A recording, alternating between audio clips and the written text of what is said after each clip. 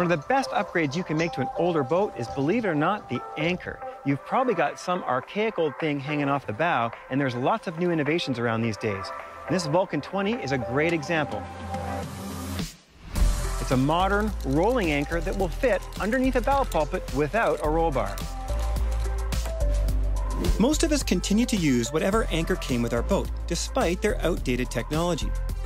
The CQR on our boat is an articulating plow design that dates back to 1933. While the hinge was conceived to help orient the anchor for easy setting, we've always had trouble getting ours to set, and we were never confident it would hold in a blow. Back down at over 1000 RPM, and it would invariably drag. Modern anchor designs like the Rocna have new features to help them set quickly in a wider variety of seabeds. It's got a rollover bar that allows it to roll itself if it lands upside down on the bottom, but it's not functional if you've got a bow pulpit like we do. So Peter Smith, who designed the Rocna, had a lot of demand from power boaters with bow pulpits to find something that could roll itself over without the roll bar. And this is what they came up with, was the Vulcan.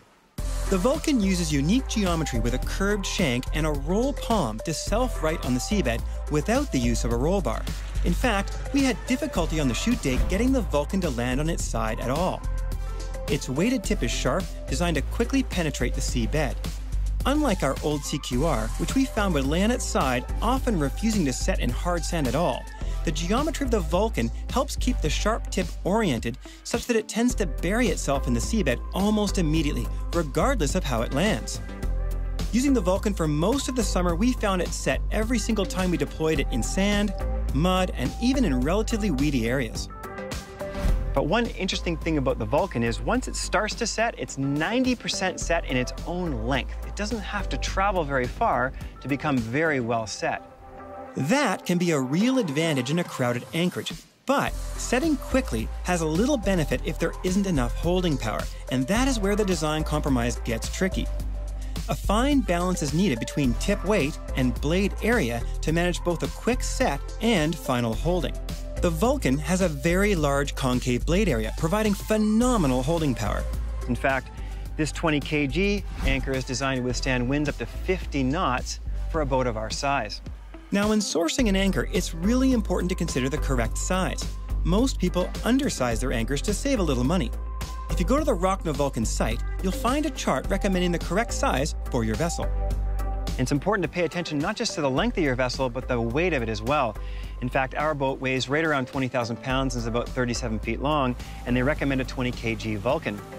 Deployment technique and scope both play an important role setting and holding. The Rocna Vulcan Anchoring Guide recommends dropping the anchor when the boat is stationary, letting the wind push you while paying out the rode as you drift back. Momentum can be used to set the anchor when you reach the appropriate scope. If conditions are calm, you can use the engines to set the anchor. Just be sure to be gentle. These anchors tend to set very quickly. A 3 to 1 rode length to depth ratio is considered the bare minimum scope, with 5 to 1 or greater being ideal for setting the anchor. If high winds are predicted or you have room to swing in the anchorage, a scope of 8 to 1 offers the greatest holding capability.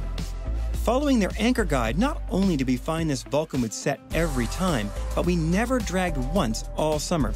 The innovative geometry of the Vulcan allows it to self-launch from most bow rollers, so there's no need to send someone forward to move it off the roller. And just like the Rocna, the Vulcan comes with a lifetime warranty against both breakage and bending assuming you have the correct size for your vessel.